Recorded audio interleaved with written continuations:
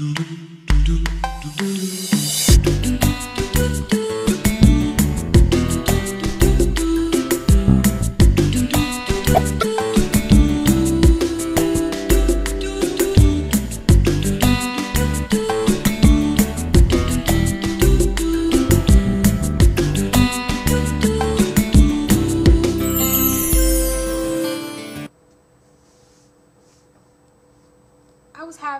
today. Oh, the sun is like in the way, whatever. But um, I was kind of thinking today, as far as with, I don't know if everyone would agree with me, but when it comes to those of us who were, of course, originally not born here, um, well, yeah, not born here, but we were kind of migrated over here where your parents went ahead and they left their country for whatever political or financial reason i don't know whatever reason they left their country you know. They decided you know they wanted to come over here to the united states. They left everything behind houses cars you know possessions and they just said okay i'm buying a one-way ticket to come to the united states with my children my child or whatever. And they brought you over here. And originally they brought you here because the United States is what was known, well, I would like to think it is still known as a really great place to live. A really great place where there's freedom, where you have the ability to become whatever that you desire to be. You know, there's more opportunity to do anything that you really want compared to a lot of the other countries where you know things are decided for you or you know the things that you would want only comes to you if you've already got some money or you were bred into you know a family that has money. So you just kind of find yourself very very limited. But when you come here to the united states it's kind of like you know each one for his own. It depends on you. If you want to have this then you can have it if you work hard for it and you know how you can get it.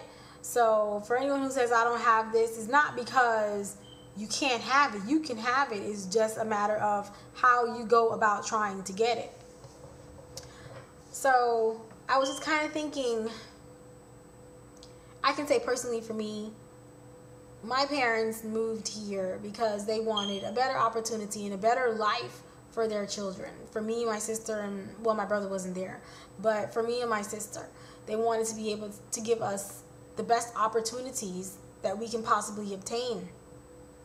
And so I can definitely see how. Um, I can only really speak for my culture because that's the only culture that I truly do know.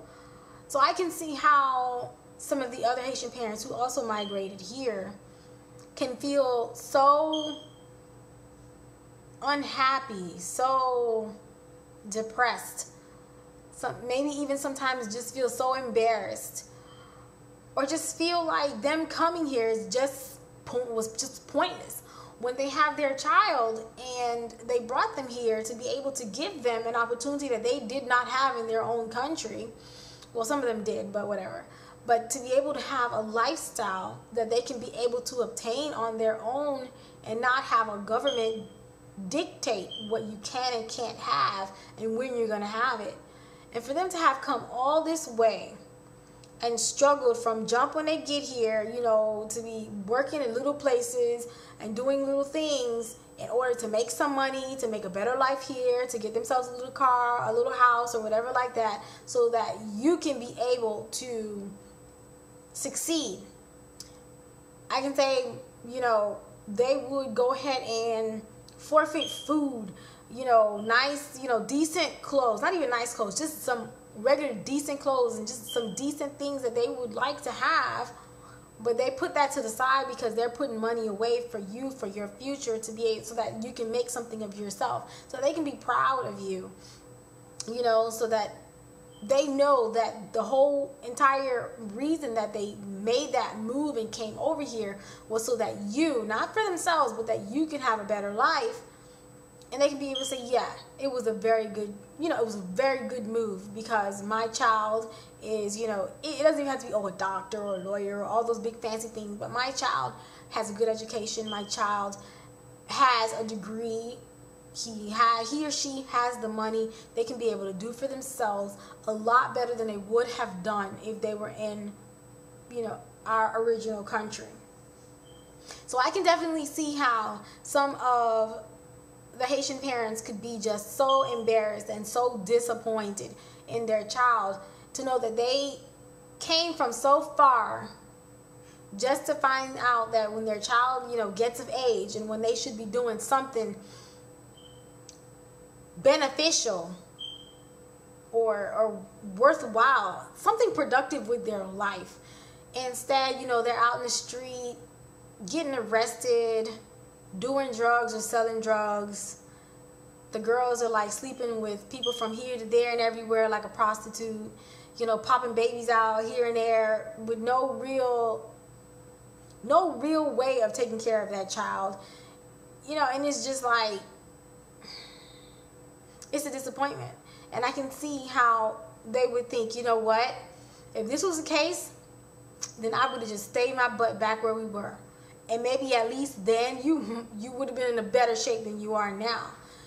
And i just it's just so disappointing to know that you've done all that you could that you left so much behind just for your child to have a better life.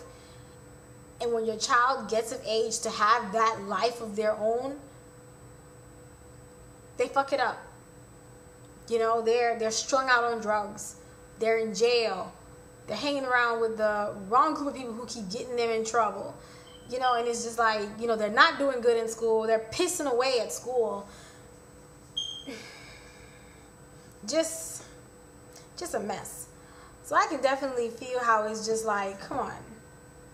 Why why are you doing this? Like seriously? If we were in our original country, would you have gotten into this stuff? And then they start to think, well, I should have left your ass where we were. So I can, it's just frustrating when I see it because I'm just like, I just know how much, well, in my, from my position, I just know how much it was and how hard it was to just leave everything you know behind. Leave your house, leave your car, leave your friends, leave your family, everything that you knew behind to come to a completely new place where you're not sure exactly what the heck is going to happen? All you know is that you need to survive for your child because you want your child to have a better opportunity than what you had over there. And even if your opportunity was good over there, but somehow where you were, you just saw that there was a downfall that was coming through. Like in my case, and you're just like, you know what? I see this place is getting disgusting. This is not the kind of place that I really want my child to be in. They're not going to have any opportunities whatsoever things are going downhill and I just want my child to at least have a decent opportunity like I had. So you left everything behind and came over here and then when it's time, not not I don't want it to sound the way it's gonna come out, but when it's time for your child to pay up, they pay up by being strung out on drugs. They pay up by being a prostitute and a whore. They pay up by being a thief. Just, you know, they got you going in and out, taking them in and out of jail and all kinds of things. And you're just, you're just like, oh my God. Maybe I made a very, very terrible mistake. This is not, not what I was hoping for.